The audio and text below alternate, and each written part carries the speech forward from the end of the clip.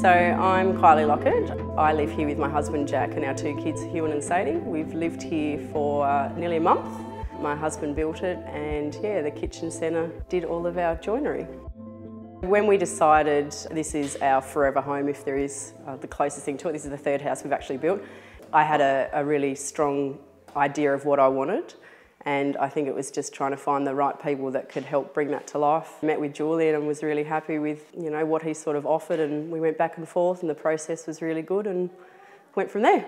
I really like Scandinavian modern minimal design so I really like matte finishes, uh, lots of texture, um, black, no chrome. So when we sat down with the Launceston Kitchen Centre to, to, get an idea of what we wanted, they gave us some really good suggestions and um, some new products and things like that that I hadn't thought of, which turned out to be really good choices and really happy with the end product.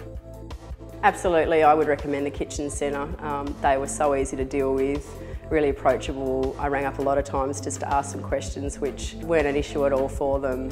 I think the quality of the workmanship, the install, everything just went really smoothly and we're so happy with the final product.